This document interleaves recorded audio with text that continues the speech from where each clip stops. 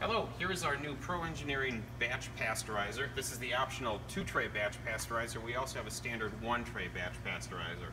To use the machine, it's incredibly simple. Simply put your tray of unpasteurized product into the machine and close the door. There's two latches on the back of each handle to latch the door either open or close.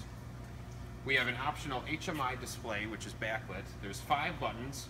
You've got your manual, start, stop, reset, and recipe.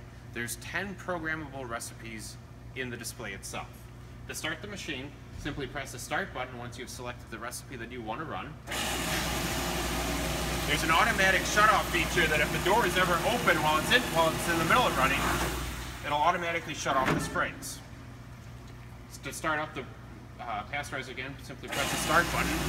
If you want to stop it before the run is actually up, you can press the stop button.